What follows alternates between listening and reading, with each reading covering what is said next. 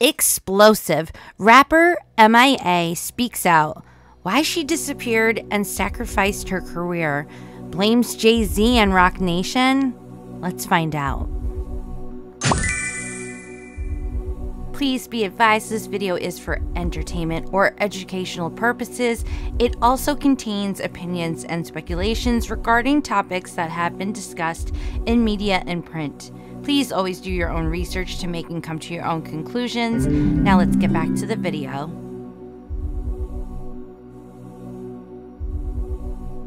Articles online have been sneaking up and popping up in regards to Jay Z. Did his unexpected speech at the Grammys seem to stir the pot? Jay Z has been said to be one of the most powerful names and personalities in hip hop, even in line with P. Diddy. But it has been speculated that Jay has pulled back from showing his full support for Diddy as he doesn't want his money and fortune to come crumbling down or tarnish his and his wife Beyonce's names. Prior to the Grammys, a lot of drama was going on due to relationships and friendships surrounding the controversial Brother Love, Diddy's recent lawsuits, and his allegations. Sugar Daddy Clive Davis even has started to worry, according to reports, where he originally was going to pull out the red carpet and celebrate support Diddy, but all of a sudden made some party plan last minute switches and adjustments, which has apparently made Diddy see how he needs to really be on his best behavior. Now, for MIA, if she really has some wild, serious allegations that need to come to light, this is definitely the time as many in the industry have been recently um, exposed and brought to court for many disturbing accusations that apparently have been happening behind the scenes in the music and entertainment business. I had personally always wondered what happened to her after her one major hit, Airplanes. And apparently, this article and report just might explain and answer my questions. According to Sam Moore from hiphopdx.com, Jay Z was called out by MIA in an explosive rant I'm not allowed to see my child.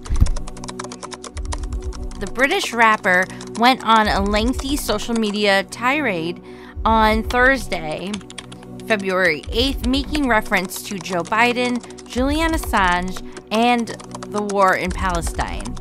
The paper plane star initially wrote, Biden won't let me see my child.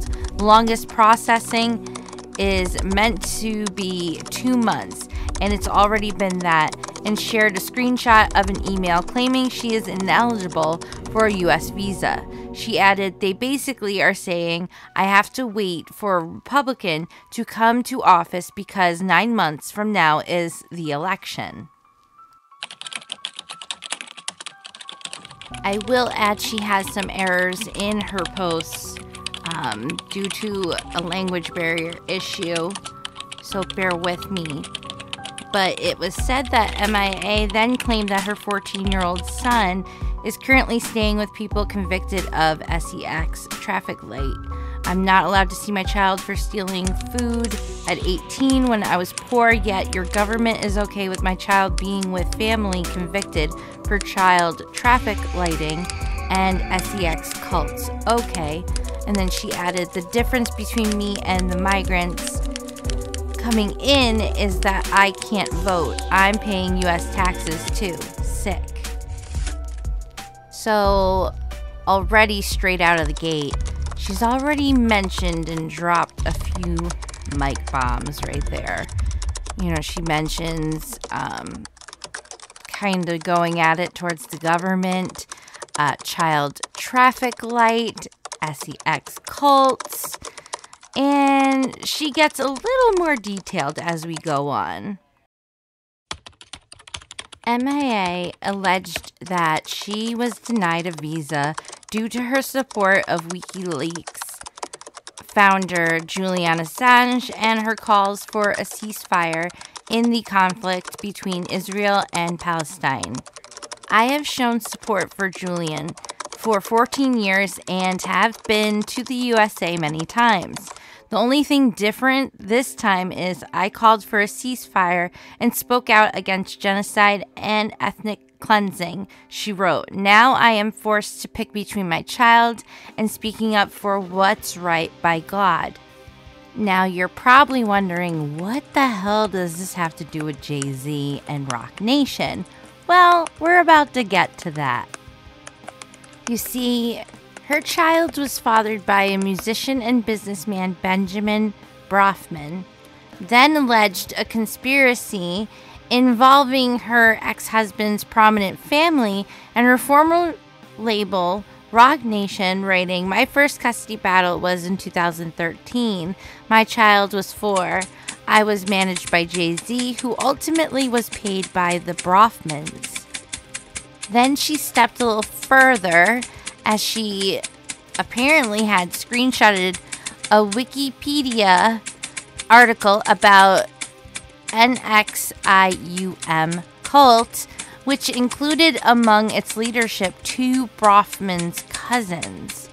And if I'm correct, I believe one of the main top females that actually got in trouble with all that was um, a Bronfman related and somehow an heir to the Seagrams fortune. So let's see. She then claimed to be very clear why her methodology, I'm probably saying that wrong, I'm sorry, record was buried in 2013 before adding, I sacrificed my career for my child they ripped me off and copied my style and gave it to their puppets and shadow banned me on every platform. But it was worth it to save him from the madness of what you now know. MIA also alleged there was a connection between the Bronfman family, Hillary Clinton, and the Libyan regime after Colonel Gaddafi was unalived. Hillary Clinton gave Sarah Bronfman Gaddafi's oil fields after unaliving him. I was punished for saying he helped Africa. Then they tried to send my child to one of her schools. When I went to visit the school, the children looked dozy and drugged, and I couldn't tell why. I refused. The rapper who also used to be in a relationship with Diplo. Oh no. Ugh. Okay, so you guys, if you don't know who Diplo is, do your research and check out Sloan's videos on him. It will tell you a lot right there. So it says she used to be in a relationship with him, then took aim at Jay Z and Roc Nation. The day I was served for my child Roc Nation stopped all communication with me, and all my emails to Jay Z asking for help was wiped from my inbox. And then there's like a missing word here. My something was broken into, and every lap was taken. I'm assuming laptop, so maybe apartment. I was trapped in Brooklyn on order served that restricted me leaving Brooklyn for 15 years. Oh boy. She went on to say, I had sex in Texas once in 2008. Um, okay. I wish my fight for my child was just with a random dad and not the entire cesspool of the US government and all global banking. Ooh, all global banking institutions, and now Israel's war and military industrial complex, and a bunch of PEDOS. Like how? Oh shit, girl. Oh shit! She came out with guns blazing here. Okay? She dropped the words all global banking institutions, okay? All I'm going to say is do your research. Look into that. There's videos on YouTube as well. It's much more than just banking and banks and what? money. people's money in banks. It's all way more than that. And she might get a little more detailed in here. Let's see. MIA also alleged that her son was vaccinated without her consent, pointing the finger at Canadian fashion designer and activist Aurora James, who she says is a friend of Beyonce and Solange. Aurora James vaccinated my child without my permission. They manipulated my child by lying to a 12 year old, pretending to be his mom. Of course, if it's not your own child, you don't care how you can psychologically damage a child with mental games. She, Beyonce, and Solange's friend. Again, they vaccinated him even after calling me an anti vaxxer and humiliating me in the press for good two years and canceling my latest MATA record um, from all promo and touring. Again, sacrificing another LP, yet they still vaccinated him at 12 to get at me. Jay Z, Roc Nation, the Bronfman family, Aurora James, and Hillary Clinton have not yet responded to various claims made by MIA. And let's be real, the Bra the Bronfman family is not very public, I should say. And if they were to speak out, it would be in a very tight, short and sweet, buttoned up PR statement. Um, and they wouldn't be showing their faces. As for Jay Z Roc Nation, if this blows up, yeah, he'll have to say something because look, it looks bad after P. Diddy has been in the news with some shit. And um yeah, as for Hillary Clinton, let's be real, that that's not gonna happen. She's not gonna say shit. No. The comment section, no one's really showing any sympathy towards her. It's it's sad. One comment said, Wake up before you can't wake up, and you're at your wake, Lloyd Banks. It would truly be in your best interest to stay silent. Shalom, peace. Followed by other comments and posts where people were just saying, Look, you knew what you went into. You were marrying into a family that was known for bad things. But, uh, I don't know, man. A lot of things have been exposed and the curtains have been drawn back and everybody's seeing it's all coming to light, you know? There's even rumors that they say Beyonce is just like what happened with Britney. She's being under the influence by certain people. And then when you see her at events, sometimes she does look drowsy and out of it. But I, oh! I don't know have you guys read any of this or heard about any of this? What do you think? Tell me in the comments down below. I would really love to hear and see what you guys are hearing and seeing. I will dig in a little more deeper. I personally don't like Jay Z. Yeah, he's had some hits, but I never really cared for his stuff. Um,